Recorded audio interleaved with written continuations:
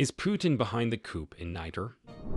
The recent coup in Niger has sent shockwaves throughout Africa and the rest of the world, raising concerns about the country's stability and the motives of foreign parties, particularly Russia and its president Vladimir Putin.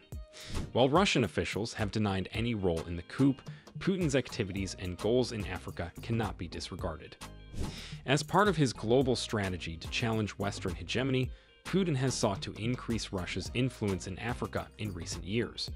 During his visits to many African nations, he signed several agreements and pledged to invest enormous sums of money in mining, energy, and infrastructure projects. The construction of a nuclear power plant and a railway connecting the nation's capital, Niamey, to the coast have been top objectives for Russia in Niger.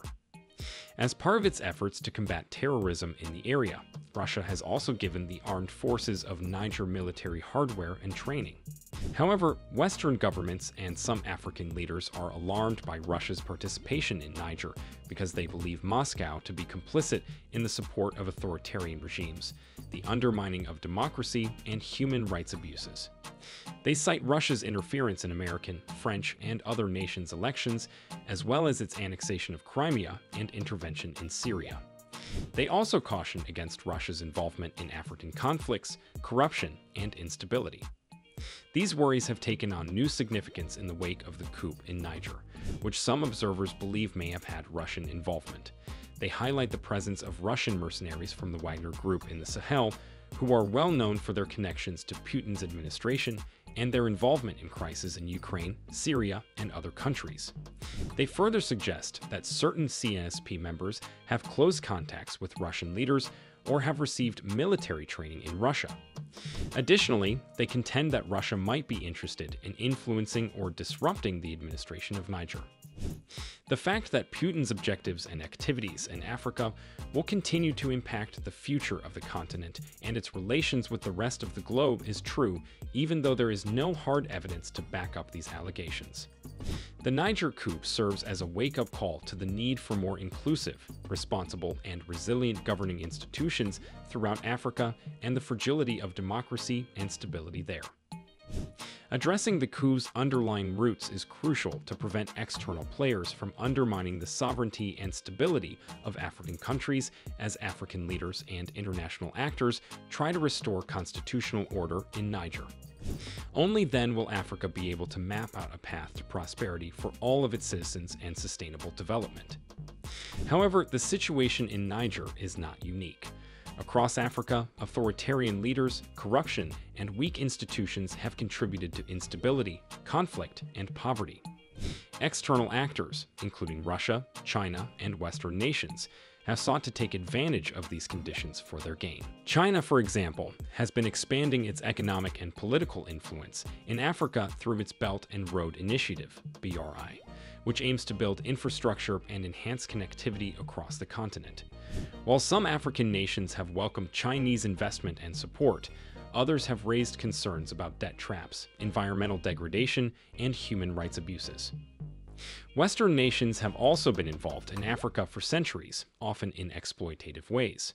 While they have provided aid and support for development, they have also supported authoritarian regimes and intervened militarily in conflicts.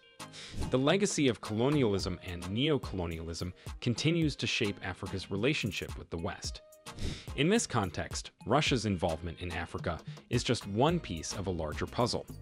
It reflects a growing competition for influence and resources on the continent, as well as a desire to challenge Western dominance.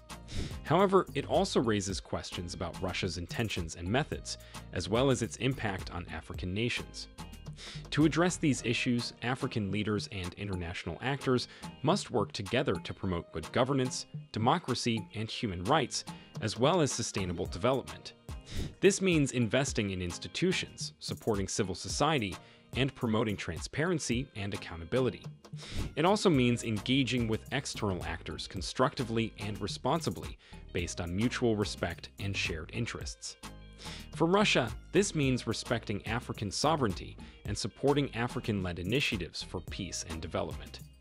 It means being transparent about its activities and intentions, and working with African nations to address common challenges, such as terrorism, poverty, and climate change.